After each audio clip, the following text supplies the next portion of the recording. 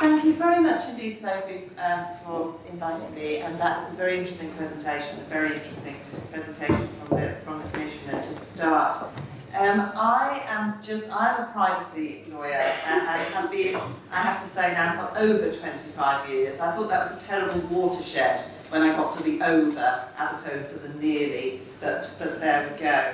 Um, uh, and I should say that actually I do do some, I feel I should make this declaration, I do do some privacy work for Google, uh, uh, and I should declare that, but I'm certainly not here to speak on behalf of Google or indeed to talk about Google, because I think the issues of competition and privacy are a lot bigger than in relation to the internet or in relation to one particular really quite small market. So can I start with, with one question? One of the questions in the invitation was this. How can bad or illegal practices create significant competitive advantages in online markets? Well, for me, this, big, this begs a big question. Bad or illegal practices? There is an interesting relationship, I think, between competition and privacy, but I think that it's a nuanced relationship and requires very precise analysis. I don't think you can simply put the two in one big bucket and slosh them together uh, and, and you know, hope something will come up. So I think we first have to start with these bad or illegal practices. Regulators of any description cannot simply take action based on practices that they do not like. We have fundamental law on data protection and privacy. We have a legal regime to deal with data protection and privacy. If organisations breach those legal standards, there is a role for regulators to act. But there is not a role for regulators to, as it were, take their own view of what they might not like about behaviour in a particular market. Uh, the rule of law is fundamental to our democracy and when making judgments about privacy practices we have to look at the laws that actually govern those privacy practices. So where do we look? We look in Europe to the Charter of Fundamental Rights and we look to the legislation uh, which, which implements those. And I would also make the point that these are more than consumer rights. Uh, I accept wholly there is a big consumer nexus, but they are not just consumer rights. Um, they are fundamental rights that assert the dignity of every human being. If, for some reason, the laws that we have implemented to put in place standards of data protection are inadequate to deal with a privacy abuse, then the first port of recall, the first port of call must be to address that inadequacy in the regulation of privacy. Now, I do not disagree that there is a relationship with competition law, but the first place must be privacy law. And I think that now is the ideal moment. We have the regulation and the directive going through. If there are regulatory issues that should be addressed, now is the time to debate them, now is the time to raise them. And I would also say that if there are particular issues in one environment, uh, and the one that, the one that um, has been flagged particularly um, by Pamela um, Jones-Harbour has been on the online environment, we need to look carefully at how the rules we might make there or in that sector or just our thinking reflect in other environments because there is not just an online world.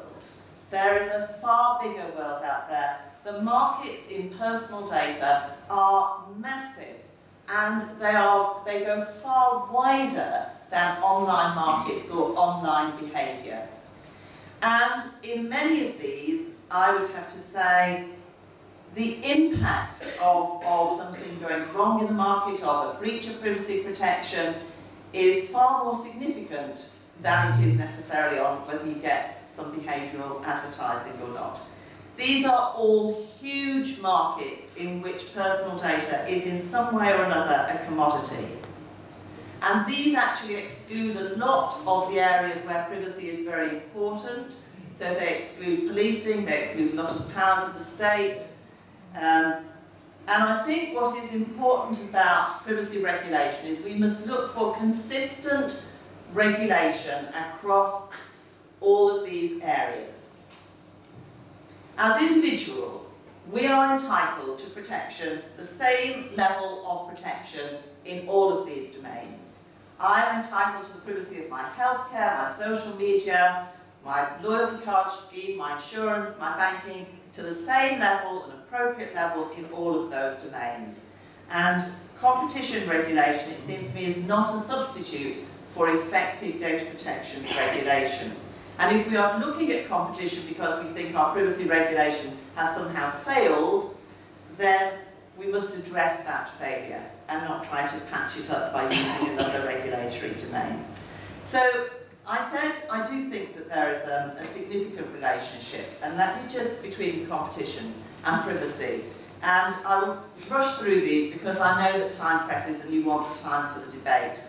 Privacy as a competitive advantage. Now, there is a, a lot of interesting questions around this.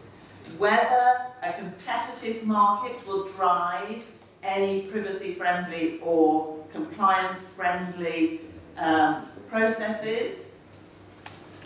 Well, I would make this, this, this point first of all. Data protection is not one attribute. Privacy is not one attribute.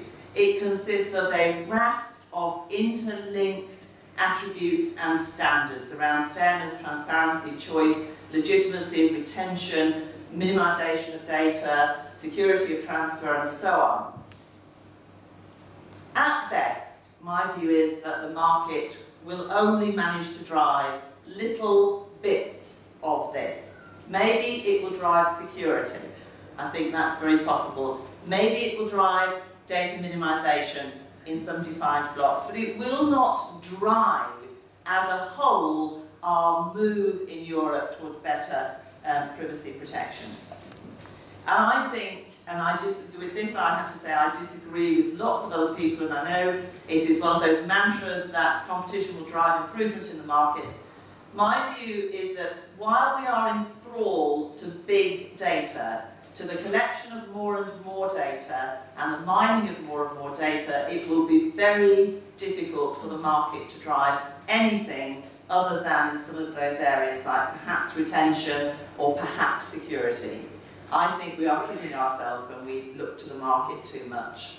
And I know that in that, Sophie would disagree with me and Pamela would disagree with me, I don't know about Simon, and I know that you know people I work with at Google disagree with me, but, but that is my view. I've lost count of the number of businesses that I've seen start up over the last 25 years saying this is going to be a differentiator anyway. Oh, sorry. Monopoly providers, I'll be very quick here. Monopoly, first of all, I'd make this point. If something is a breach of data protection rights, it is a breach irrespective of whether it is done by one provider, four providers, 20 providers, or the whole market and we should be looking at that and addressing it uh, from a regulatory point of view.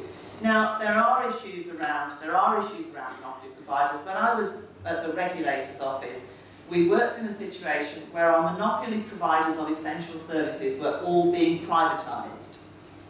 They had sets of data that were not available anywhere else in the market, and we took regulatory action against the gas, the water and the electricity companies to restrict their ability to utilise the data they had gathered as monopoly providers um, before they, as they moved into, into a competitive market. I think that's a genuine nexus there between competition and, and privacy regulation. Um, but a very unusual one because these were genuine monopolies and genuinely essential services. And there was only one British gas. Level playing fields, I, I think, we really must be vigilant. I think there are some areas where privacy regulation has produced playing fields that are not completely level and that we should actually be looking at the regulatory scheme to say this is, this is operating in, odd, in an odd way in the market uh, but time presses, so I will move on very quickly. So just to start with the, just to start the impact of the proposed regulation. Um, I would say we should support and applaud this level of harmonisation. We must look for a level playing field as far as we can in the protection of personal data, for consistency between areas, so that we as citizens, as individuals, know what our rights are and where we stand. Uh, and can I just kind of pay tribute to the work of uh, Sophie Felt in this area because I know she has been an absolutely doughty campaigner for consistency of process, consistency of standards, and has spoken about the problems we've got with the directives, the move to have public sector, the, the problems we've still got in the policing area. So I do, you know, as a privacy lawyer, I do really pay tribute to um, Sophie in 't Veld and her work in, in this area. I think it's been fantastic.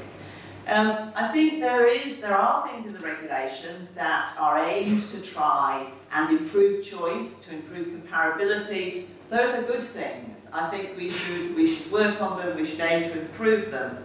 Um, but I still think that it will be a long time before the market really takes us to where we might want to be in privacy protection. So to summarise, there is a relationship. I think it deserves closer study. But we shouldn't conflate the two things.